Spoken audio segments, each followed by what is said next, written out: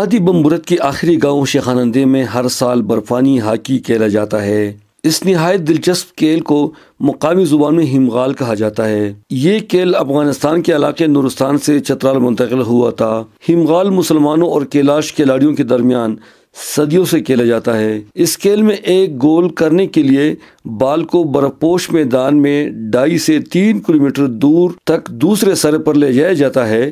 اور وہاں سے دوبارہ وہاں تک لایا جاتا ہے جہاں سے یہ بال پینک کر شروع ہوا تھا۔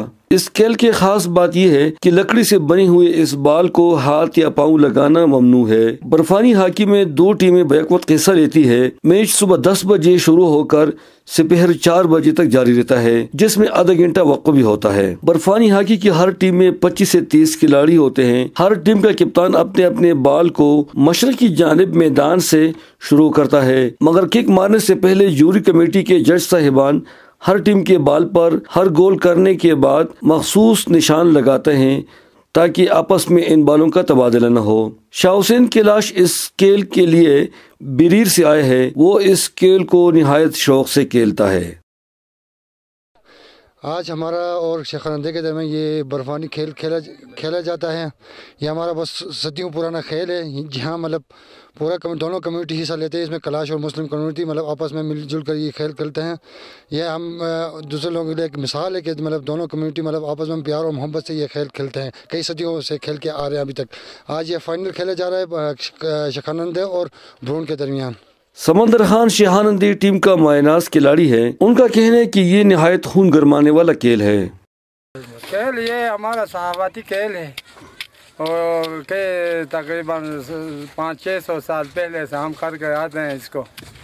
اور دو تقریباً گاؤں گاؤں کے درمیان میچ ہے۔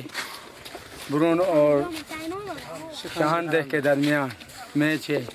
اور آپ خود دیکھ رہے ہو ہاں؟ بہت مزیدار چل رہا ہے۔ دونوں ٹیم۔ اچھا دونوں ٹیم اچھے ہیں۔ کوئی برا ٹیم کام نہیں کر سکتا ہاں۔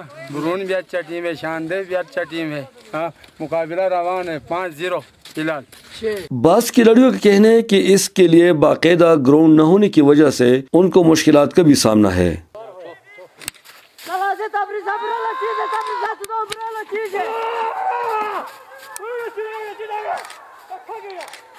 چھوٹے بچے بھی اپنے طور پر اس برپوش میدان میں برفانی ہاکی کھیلتے رہتے ہیں۔ دونوں ٹیموں کے کپتان بال ہاکی سے مار کر اپنے اگلے کھلاڑی کو پاس کرتے ہیں۔ ہر پانچ سو میٹر کے فاصلے پر دونوں ٹیموں کے کھلاڑی بال کے انتظار میں کڑے ہوتے ہیں، جو اپنے اپنے بال کو ہاکی سے مار کر آگے کی طرف دوسرے کھلاڑی کو پھینکتے ہیں۔ اور میدان کے دوسرے سرے میں کڑا ہوا کھلاڑی اس بال کو ہاتھ سے بھی پھینک سکتا ہے۔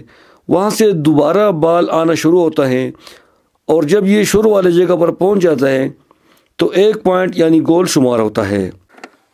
چلو۔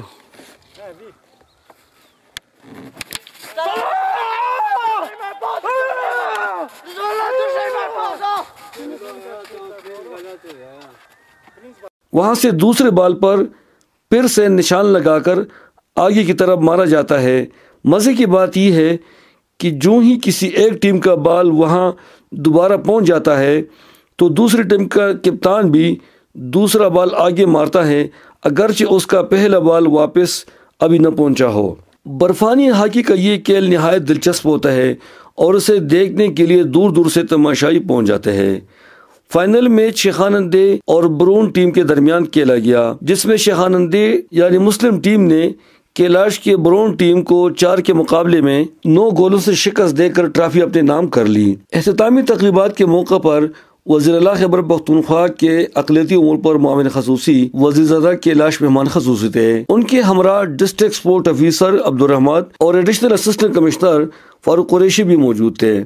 ٹورزم کارپوریشن خیبر پختونخوا کی جانب سے کھلاڑیوں کے ساتھ مالی تعاون کیا گیا۔ آرگنائزنگ کمیٹی کے لیے ایک لاکھ بیس ہزار، ونر ٹیم کے ایک لاکھ اور رنر اپ ٹیم کو پچاس ہزار روپے نقد انعام بھی ٹی سی کے پی کی جانب سے وزیر زدہ نے پیش کیے ڈسٹرکٹ سپورٹ افیسر نے اس دلچسپ کھیل کو آئندہ کیلنڈر ایونٹ کے طور پر اسے کھیلنے کا اعلان بھی کیا۔ اس نہایت نایاب اور مخصوص کھیل کو دیکھنے کے لیے کثیر تعداد میں تماشائی وادی مرید پہنچے تھے۔ سنو ہاکی یعنی برفانی ہاکی کا یہ کھیل صدیوں سے وادی کیلاش کے آخری گاؤں شیخاندے میں کھیلا جاتا ہے۔ اس میں بیک وقت مسلمان اور کیلاش کمیونٹی کے دونوں ٹیمیں حصہ لے رہے ہیں۔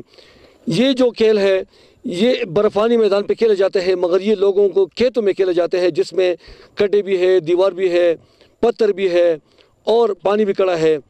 تو مقامی لوگ وفاقی اور صوبائی حکومت سے یہ مطالبہ کرتے ہیں کہ ان کے لیے باقاعدہ پراپر میدان بنایا جائے اگر ان کے لیے گراؤنڈ کا انتظام کیا گیا تو اس کھیل کو دیکھنے کے لیے دنیا بھر سے سیاح آئیں گے، کیونکہ برپانی کھیل کا ایک خصوصیت یہ ہے کہ آخری ٹائم پہ جب فائنل میچ کھیلا جاتا ہے، تو جیتنے والے ٹیم کے کپتان کو ایک دن کے لیے بادشاہ بنایا جاتا ہے، جس کو مقامی زبان میں میتھر کہتے ہیں۔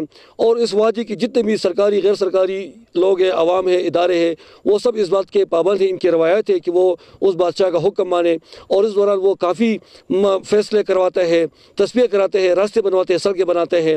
تو اس کھیل کو دیکھنے کے لیے دنیا بھر سے سیاح آئیں گے گل حماد فاروقی اے پی پی شہانندے وادی کیلاش، چترال۔